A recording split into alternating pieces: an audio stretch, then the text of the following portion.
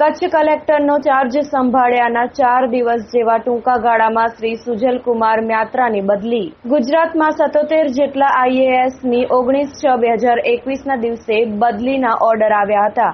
તેમાં કચ્છમાં ફરજ નિભાવતા કલેક્ટર પ્રવીણા ડી કેની બદલી પંચમહાલના ગોધરામાં કરવામાં આવી હતી. અને તેમના સ્થાને કચ્છમાં શ્રી સુજલકુમારને મૂકવામાં આવ્યા હતા. કોરોના કાળમાં કચ્છની જનતા કલેક્ટર પ્રવીણા ડીકેથી નારાજ હતી. કોઈ ખાસ નિર્ણય એમના દ્વારા લેવામાં ન લેવાતા કચ્છની જનતા નારાજ હતી. એવામાં કલેક્ટરની બદલીના ઓર્ડર આવતા નવા કલેક્ટર પાસે કચ્છી પ્રજાને નવી આશા બંધાઈ હતી. પરંતુ ટૂંકા ગાળામાં જ કચ્છના ઇતિહાસમાં પ્રથમવાર એવું થયું છે કે પ્રવીણા ડીકેને ફરીથી આ કચ્છનો ચાર્જ મળ્યો.